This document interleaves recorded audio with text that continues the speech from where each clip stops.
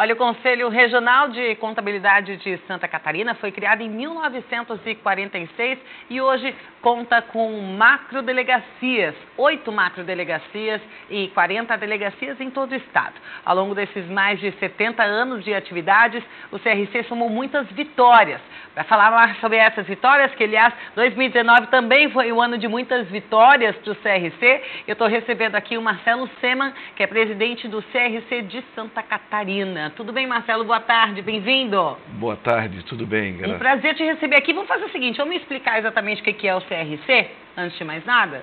Conselho Regional de Contabilidade de Santa Catarina é o conselho que cuida dos profissionais da contabilidade, todos os contadores do estado de Santa Catarina. Somos 21 mil profissionais contábeis. A gente pode citar que o CRC ele é destaque em relação a várias coisas. Uma delas é, é uma das referências nacionais do CRC, justamente gestão administrativa e a fiscalização. Como que vocês conseguiram alcançar tanto destaque e se tornar uma referência no país, não só nisso que eu citei, mas em outras coisas também? É uma alegria muito grande dizer que o Conselho Regional de Contabilidade é o número um no Brasil e entre todos os conselhos. Dizer que nós cuidamos da contabilidade e o Conselho Regional de Contabilidade de Santa Catarina é o primeiro do Brasil. Então, isso é uma alegria muito grande para os contadores catarinenses a gente chegar a esse estágio, essa competição que a gente está competindo com São Paulo, Curitiba, já estamos competindo com os grandes. Hoje nós somos o número um transformando visão em atitude. Esse é o nosso grande dilema. E a gente sabe que, que o, o o contador ele tem uma função muito importante, seja para a pessoa física que precisa fazer uma declaração de imposto de renda, por exemplo,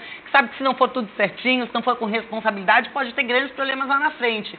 Para a empresa, então, nem se fala. Então, está aí a importância de, de fato, ter um órgão que cuide, que fiscalize, exatamente para saber quem são esses profissionais que estão atuando, né? Com certeza, a importância é muito grande de verificar o contador, mas dizendo para a sociedade catarinense que no exame de suficiência, que é o que igual da OAB, no Brasil, Santa Catarina foi o primeiro colocado nos últimos dois exames de suficiência. Então, nós estamos muito bem colocados com os profissionais. Então, estamos bem servidos de profissionais da contabilidade. É uma alegria muito grande dizer que Santa Catarina é destaque.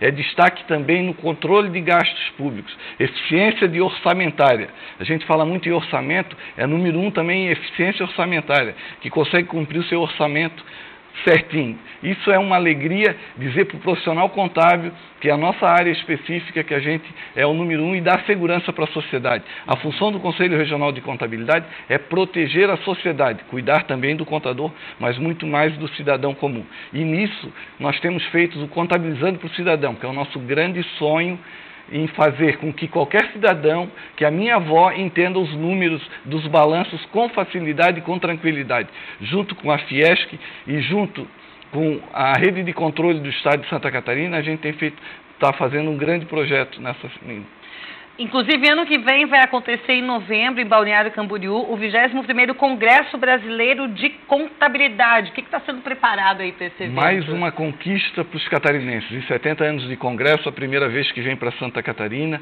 vão ser três dias de congresso, fomentando o turismo do estado de Santa Catarina, e vamos ser 300 palestras, sendo em três dias simultânea, então 300 palestrantes, um grande evento. Esperamos 2 mil profissionais da contabilidade inscritos. Serão 6 mil profissionais da contabilidade de todo o Brasil reunidos.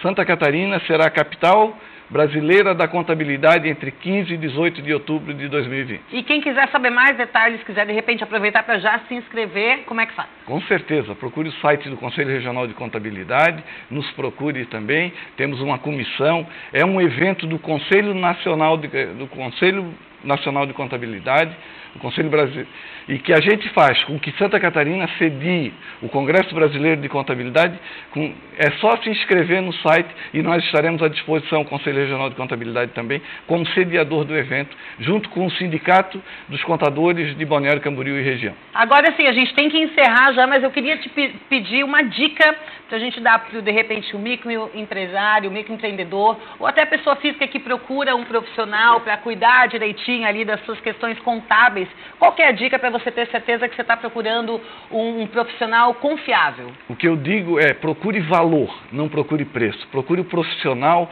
que esteja realmente habilitado para lhe dar segurança.